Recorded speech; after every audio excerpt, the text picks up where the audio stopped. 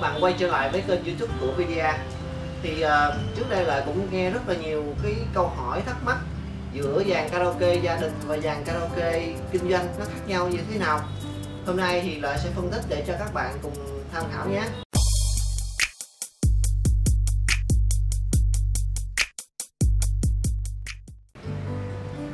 Như các bạn đã thấy thì bên phải lợi là một dàn karaoke gia đình và bên trái là một dàn karaoke dành cho phòng kinh doanh. Thì à, thứ nhất mình phân tích về đầu karaoke. Ở gia đình á thường là mình chọn những đầu karaoke sử dụng đĩa CD cập nhật vol mỗi vol mới mình đi mua vol hoặc là sử dụng ổ cứng à, để chất lượng nó tốt hơn.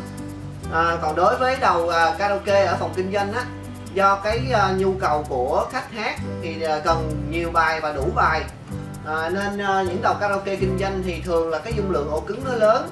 À, và nó cập nhật online rất là nhanh thuận tiện cho cái hộ kinh doanh. Thứ hai là về cái âm ly thì à, gia đình á, thường chọn những cái dòng âm ly cơ là do nó dễ chỉnh. Mình không có cần kiến thức sâu về à, âm thanh mình vẫn có thể tự chỉnh ở nhà. Còn đối với à, phòng kinh doanh thì à, người ta thường chọn là cái men hay còn gọi là cái cục đẩy công suất. Phối lấy với với cái mixer hay còn gọi là cái van số. Thì à, cục đẩy công suất này nó sẽ cho mình dễ dàng lựa chọn à, tùy theo cái số lượng lo mà mình có nhu cầu sử dụng.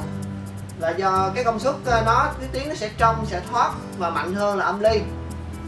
À, còn đối với cái băng số băng số nó khác âm ly ở chỗ là nó tích hợp cái bộ chống hú tích hợp cái bộ equalizer hay còn gọi lọc âm.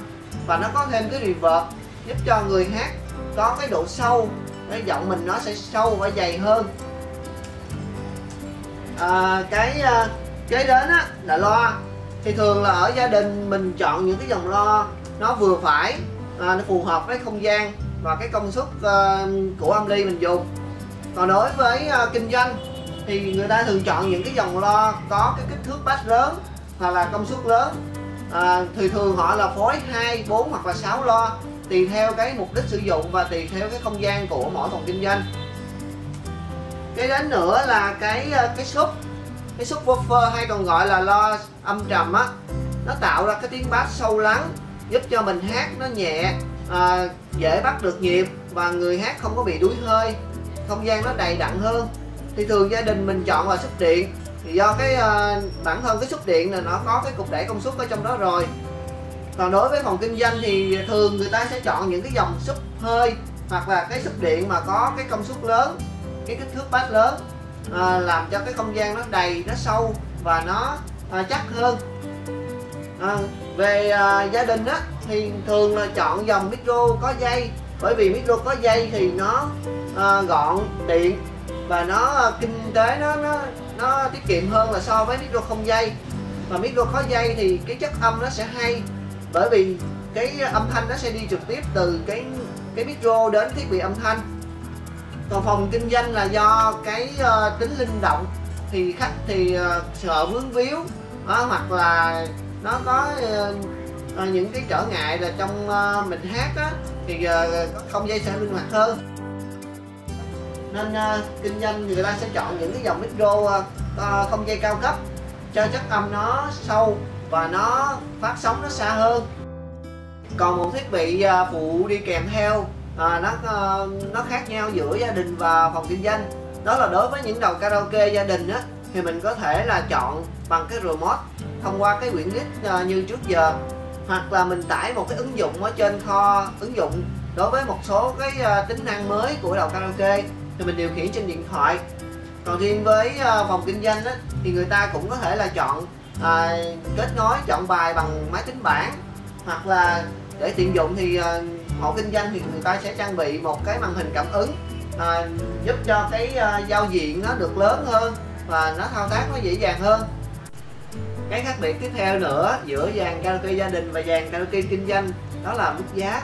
Ở gia đình á, thì khoảng tầm 10 10 triệu 20 triệu đổ lại là mình đã có một dàn cũng khá là hay rồi nhưng mà đối với kinh doanh thì cái đòi hỏi nó cao hơn đó, sử dụng những cái thiết bị cao cấp và chất âm nó phải hay nên mức giá dành cho phòng kinh doanh thì nó dao động khoảng từ 40, 60, 130 hoặc có thể hơn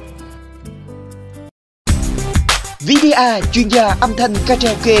VDA phối theo nguyên lý, lắp theo âm học. Vậy là vừa rồi Lợi cũng đã phân tích được sự khác biệt giữa dàn karaoke gia đình và dàn karaoke kinh doanh khác nhau như thế nào.